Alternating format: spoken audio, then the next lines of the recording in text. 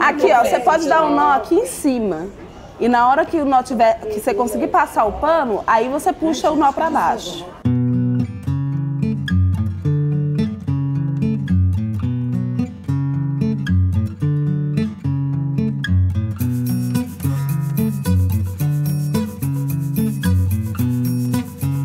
A oficina é um momento assim de interação, né, de um trabalho manual, que ao mesmo tempo você tem é uma oportunidade de discutir representatividade negra no Brasil, a questão da mulher negra no Brasil. Abayomi significa abai é um encontro e omi é precioso, vem da, do Yorubá.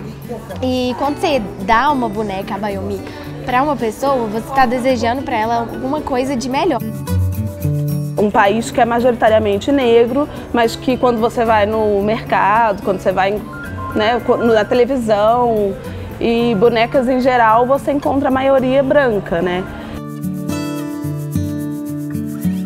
Nossa África que a gente tem no Brasil dentro do movimento é uma África idealizada, né? Não é o que a gente entende hoje. A África não é um país uniforme com uma cultura só, né?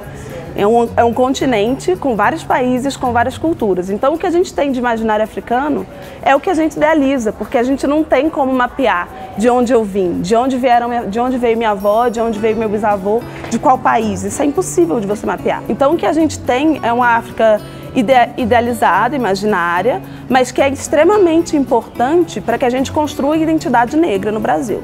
A gente só constrói uma identidade, eu só consigo identificar enquanto negra a partir de elementos como a baiomi. Aí a baiomia, o turbante, é, é, são os búzios, são os colares grandes, é o piercing no nariz. Todos esses elementos são elementos que a gente vai pegando e que a gente vai construindo a nossa própria identidade.